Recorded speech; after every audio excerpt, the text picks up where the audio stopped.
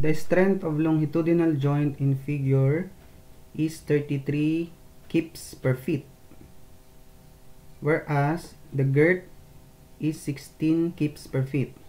Calculate the maximum diameter of the cylinder tank if the internal pressure is 150 psi. Given natin dyan is girth, girth joint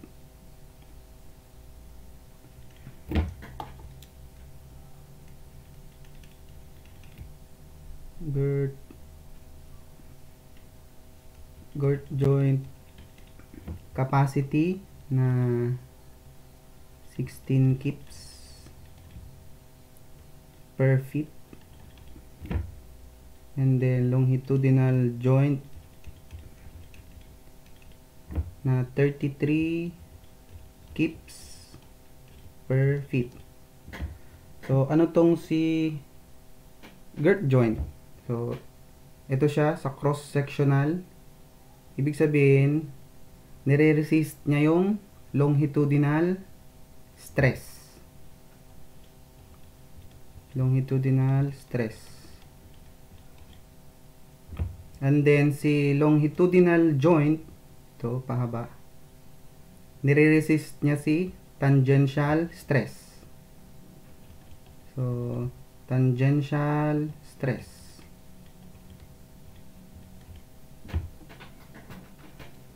And then, yung internal pressure, rho, is equal to 150 psi or pound per inch squared.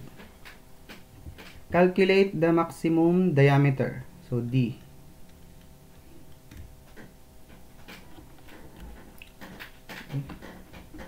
Based on longitudinal stress, yung unahin natin. So,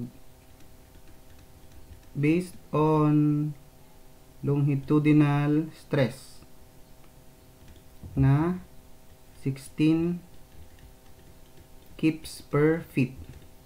Pero stress, 'di ba, dapat feet squared. Ang ibig sabihin nito per thickness. Kaya wala tayong uh, given na thickness. Ang formula ng longitudinal stress is longitudinal stress is equal to pressure times D all over 4T. So, substitute natin yung formula. Ang limit niya is 16,000 pound per feet per thickness.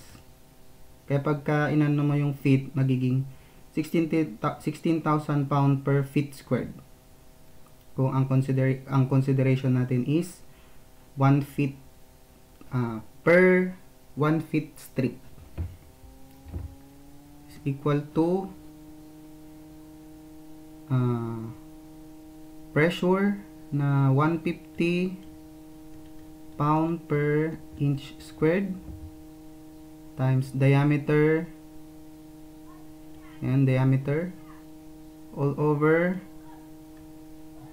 4T. So, the same lang to per thickness.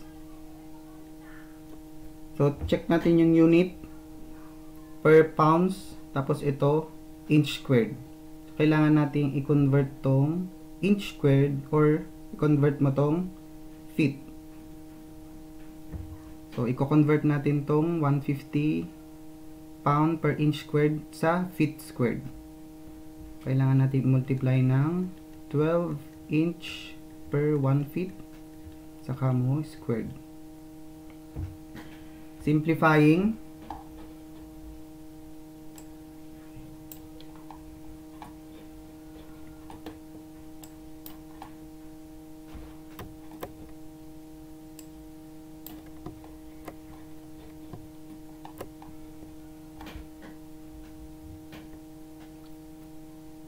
sixteen thousand pound per feet over thickness is equal to 150 times 12 squared 21,000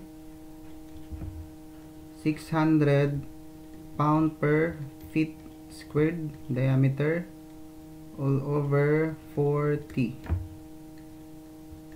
yan, per thickness kasi yan eh. So yung D natin dyan is equal to 16,000 times 4 divided by 21,600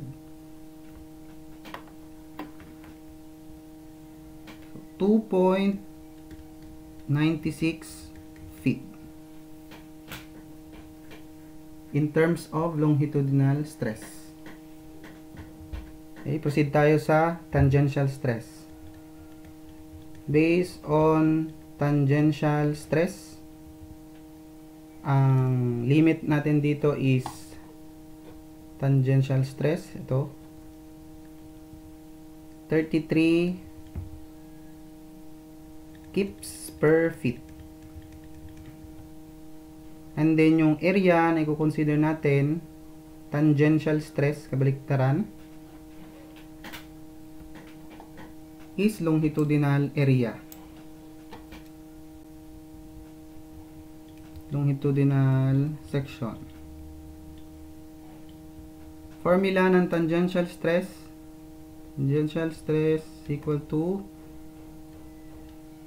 internal pressure times diameter over 2t.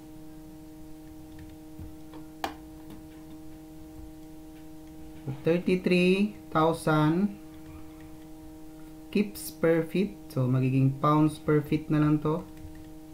Per thickness. Okay. Equal to uh, 150. Ganun ulit, convert natin. 12 inch per feet. Same siya dito. D all over 2 times thickness. So, cancel yung T kasi per thickness siya. So, D is equal to 33,000 times 2 divided by 150 divided by 12 squared. Siya rin yung 21,600 dito. The same din na value nito. So, ang D natin na makukuha dyan is 3.05 feet. Ngayon, ang pipiliin nating thick, uh, diameter is yung ano, mas maliit siya or mas malaki.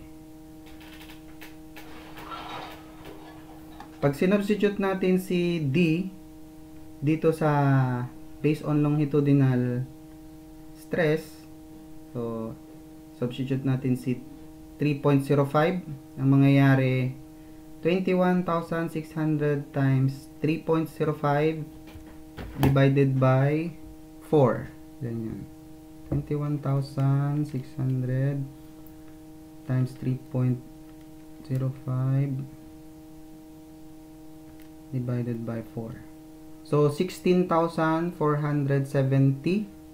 pounds per feet. Feet. Kaya, nilagpasan niya na yung limit ng 16,000. So, hindi pwedeng gamitin tong D. Ang answer dito is tong 2.96 feet. Okay?